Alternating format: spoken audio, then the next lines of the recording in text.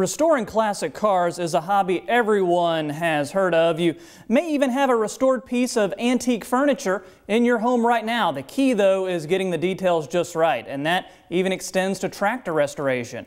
John Torpy reports how one family is turning their love of classic farming equipment into a family affair.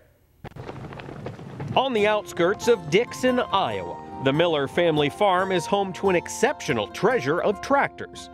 It began as most tractor hobbies start. In a way to honor his father, Kevin Miller began restoring the family machines. Little did he know the love of restoring would spread like wildfire through his children, producing a collection of unmatched, one of a kind tractors fueled by friendly sibling rivalry. Kevin Miller's love of tractors started before he could say the word. Watching his father work on these mechanized beasts in his workshop, his eye was on the prized Oliver 88, the iron pen that started writing the Miller's agricultural story.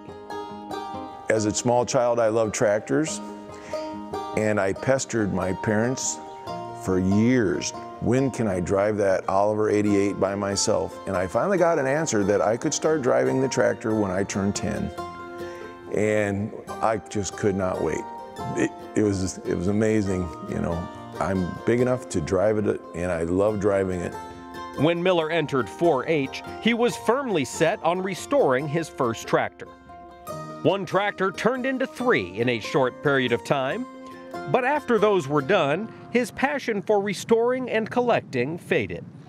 One tractor was put to work on the farm, the other two were parked in a shed and forgotten.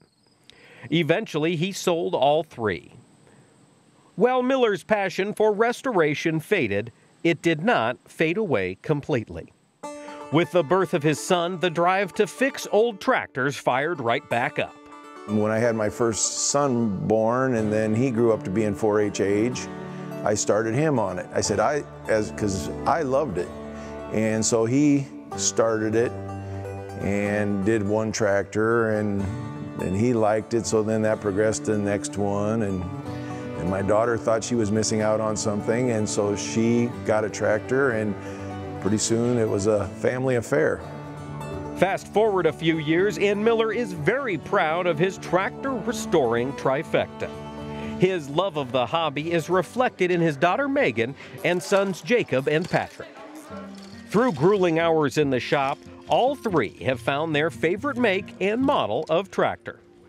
Patrick is a mini man, favoring the energy yellow painted machines that are known for their reliability. This is Prairie Gold number two, technically. There's um, five colors that Minneapolis Moline would have used. This would be the second one, Prairie Gold number two. Prairie Gold number one was only used a couple years in the late 30s, if I remember right. Prairie Gold number three is a lot oranger than that. For Megan, her diverse restoration resume is long, but when asked about her favorite tractor color, she is a daddy's girl. My dad and I both favor red. I started out with a 1066 for my first tractor as an international, and then I moved to a 1566, and then um, for my last project as a 21-year-old FFAer, I wanted to do the 1456. That was like my dream tractor all over the years, but we couldn't find one, and or it was too far away or whatever. But my dad made sure to get me the tractor that I wanted for my last year. It was pretty cool to get that tractor and I got reserve grand champion at the Iowa State Fair with that one, and that was the highest award that I had gotten by myself on a tractor ever. Kevin noticed his daughter's desire to be working with the boys at an early age. At the beginning of her restoration career, I'll put it that way, she restored my dad's Oliver and a John Deere, and she did a case with her brother. But she was always the international girl. You know, as she got on after a couple years, she just loved the internationals. Her favorite color's red, like mine. And so she wanted a red tractor, and I think she liked the the gold contrast with the red. So she was in it. We always call her the international girl, and I think it was just that gold contrast she liked so well, and that's why she wanted one. They paint the whole hood gold, and then when they wanted to actually sell them, they'd send them back to the factory and repaint the outside red, but leave the underside gold. So that's how you know you got a gold demonstrator. So these three tractors are all golds. For Jacob, green is the color of his hobby, but it has nothing to do with antlers. And like his older siblings, perfection is the key. Not just the tractor, but every part of its story as well. Well, this one is a 1550 high crop diesel. Um, there was not many made of them because it's such a small tractor and 1550 and 1555 diesels as it is are really hard to find.